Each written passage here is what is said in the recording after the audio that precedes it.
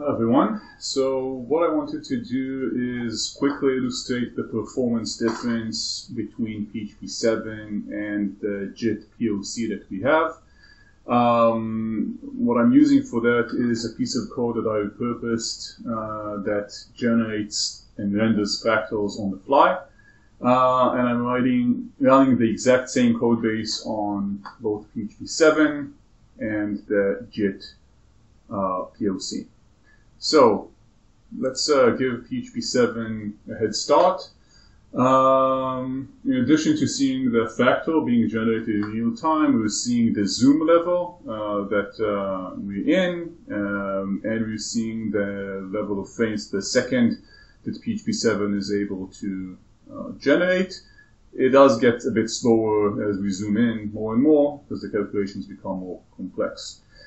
And now let's see the exact same thing being done by the JIT POC. And as you can see, it's just, just a bit faster. Already now passed PHP 7 despite the very long head, uh, head start. And all in all, about 45 times faster than PHP 7.